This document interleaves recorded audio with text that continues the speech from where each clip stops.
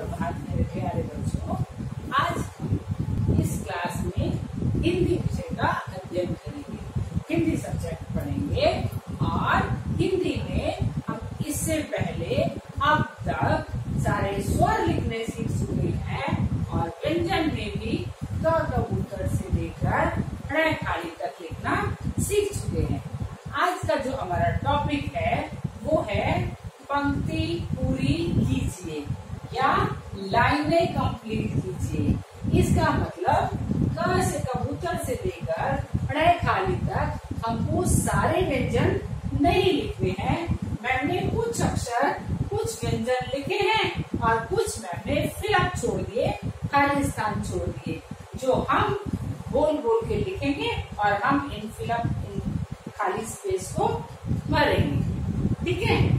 चलो, आज हम लिखना शुरू करते हैं। सबसे पहले व्यंजन का अक्षर है क से कबूतर क से कबूतर। और क से कबूतर के बाद यहाँ पर क्या आता है? Yes you all know very well क से कबूतर के बाद क्या आता है बेटा?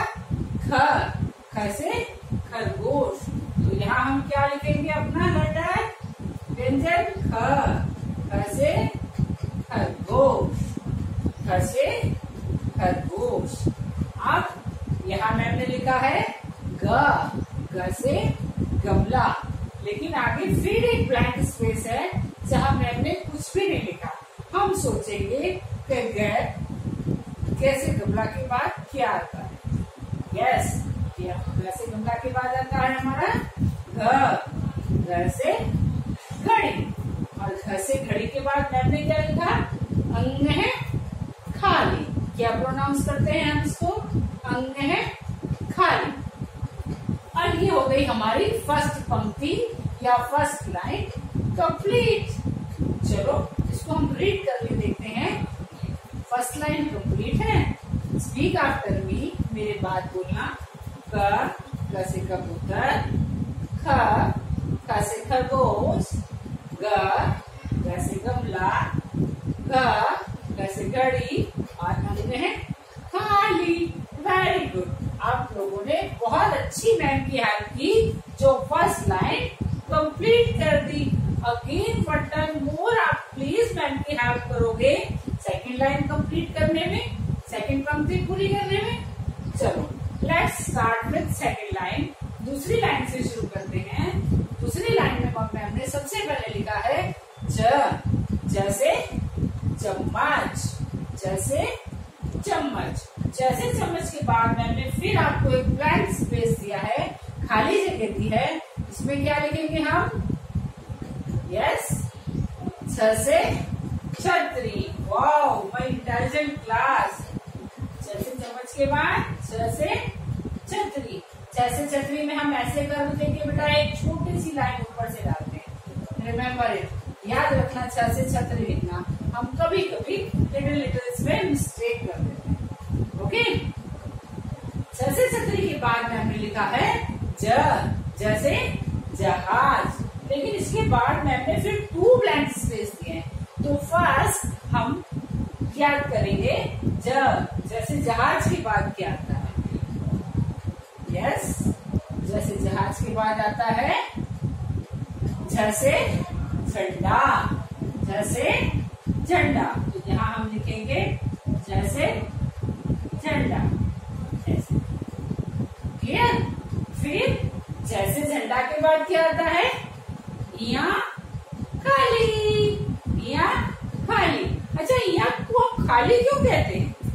क्योंकि या के पास कोई भी पिक्चर नहीं है, इसलिए या खाली। तो यहाँ हम लिख देंगे या खाली वेरी गुड कितनी जल्दी हमने टू लाइन कंप्लीट कर ली क्लियर अब लास्ट थर्ड लाइन इसमें मैम ने सबसे पहला लेटर लिखा है ड से टमाटर उसके बाद मैम ने फिर हमको ब्लैंक स्पेस दिया है तो हम मैम की हेल्प करेंगे। जैसे टमाटर के बाद क्या आता है मेरे प्यारे बच्चों? यस क्या आता है? ठ से ठठेरा ठ से ठठेरा ठ के बाद भी ब्लैंक स्पेस है। उसके बाद क्या आता है? ड से डब्लू ड डब्लू के लिए हम फिर छोटी सी लाइन बनाएँगे, एक कर और एक कर और। बन जाएगा हमारा ठ से ठठेरा। क्या बन जाएगा? ठ से ठठेरा। ड से के बाद फिर स्पेस है। यहाँ पर हम क्या लिखेंगे? ढ ढक्कन। ढ से ढक्कन। ढ से ढक्कन के लिए हम ऐसे वर्ब डाल के ऐसे। Very good third line complete कर ली। इट मीन्स हमारा होमवर्क कंप्लीट हो गया। चलो हम एक बार फिर से लर्न करके देखते हैं रीड करके देखते हैं कि हमने कोई मिस्टेक तो नहीं की। क्लियर चलो चलिए स्टार्ट चलो मैम के साथ रीड करते हैं। क से कबूतर, ख खरगोश, ग से गमला, घ घड़ी घड़ी अंग है खाली छ जैसे चम्मच छ छ से छतरी। रेन आती है तो हम छतरी काम में लेते ना बेटा? ज जैसे जहाज़। छ जैसे झंडा। इया इया खाली थर्ड लाइन से टमाटर। ठ ठ से ठठेरा। ड ड से डमरू ढ ढ ढक्कन और ड़ खाली वेरी गुड सो इजी हमने कितनी इजीली इसको कंप्लीट कर लिया? क्योंकि हमने बोल बोल के लिखा था ना इसको बेटा तो हमको सारे व्यंजन लर्न थे। इसलिए हमने इसको जल्दी से कंप्लीट कर लिया। तो यही आपका आज हिंदी का होमवर्क है आप अपनी हिंदी की फेयर नोटबुक में क से ण तक कुछ मिसिंग लेटर मम्मा करके देंगे आपको कंप्लीट करना। जब आप ये होमवर्क लिखोगे, बेटा बोल बोल कर लिखना ताकि कोई मिस्टेक ना हो।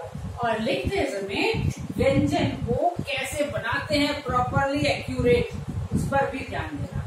क्योंकि मैम हमेशा कहती है कि आपकी राइटिंग बहुत अच्छी होनी चाहिए। अच्छी लगती है ना सुंदर राइटिंग तो हम भी कोशिश करेंगे हमारी बहुत अच्छी हो जाएगी। Okay this is your today's homework send me before six o'clock Happy.